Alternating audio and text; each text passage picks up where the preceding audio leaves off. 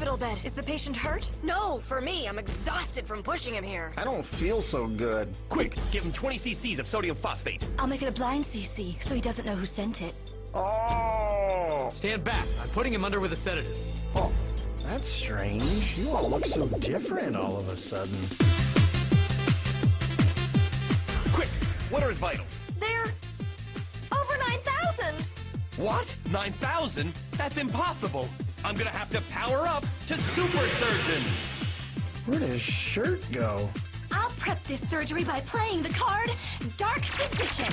He has 3,000 healing points and is a medicine-type monster. Not so fast, Lexie. I already played the trap card. Now practice suit, destroying your dark physician.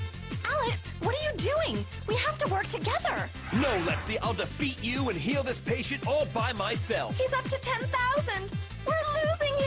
We need to shock him. Go Checkaflu.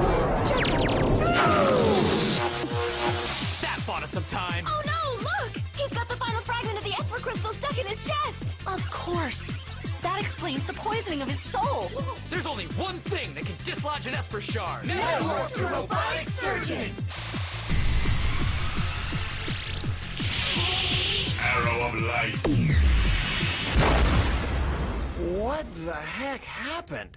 Oh, you just needed your appendix out. You're fine now. But, but, Checkaflu. Bless you.